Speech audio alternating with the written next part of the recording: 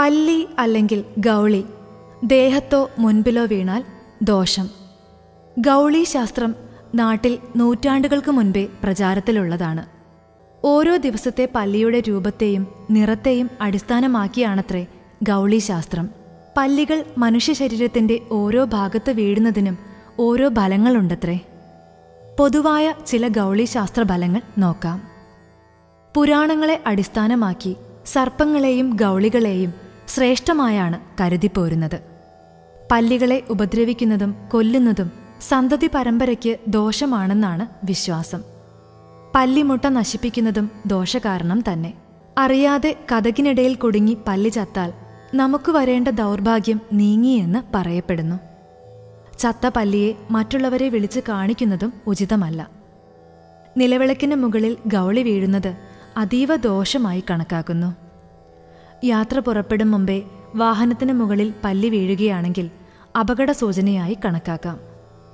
വിരിച്ചിട്ട കിടക്കയിൽ പല്ലി വീഴുകയാണെങ്കിൽ വരാനിരിക്കുന്ന ദുഃഖങ്ങളുടെ സൂചനയാണത്രേ. ഇരിപ്പിടത്തിൽ വീണാൽ സുഖദുഃഖ സമ്മിശ്ര ഫലവും.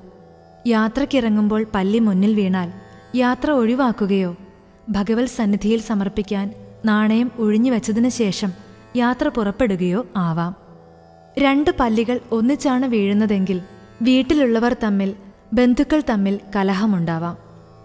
പല്ലി കാരണമുണ്ടാകുന്ന ദുർശകുന്യങ്ങളുടെ പരിഹാരത്തിനായി ഈ മന്ത്രം ഹൃദിസ്ഥമാക്കുക അഗ്രതോ നരസിംഹോമേ പൃഷ്ഠതോ ഗരുഡധ്വജ പാർശ്വയോസ്തു ധനുഷ്മന്തൗ സകരോ രാമലക്ഷ്മണൗ അഗ്രദാഹ പൃഷ്ഠതശ്ചൈവ പാർശ്വയോശ്ച മഹാബലോ ആകർണപൂർണ ധന്വാനോ രക്ഷേതാം രാമലക്ഷ്മണൗ.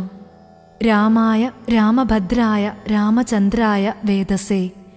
രഘുനാഥായ നാഥായ സീതായ പതയേ നമഃ. മന്ത്രങ്ങൾ ജപിക്കേണ്ടത് മനസ്സറിഞ്ഞാവണം. താംബൂലത്തിൽ അഭിലാഷ് പറയരെ. ഉടൻ സബ്സ്ക്രൈബ് ചെയ്യൂ. താംബൂലം.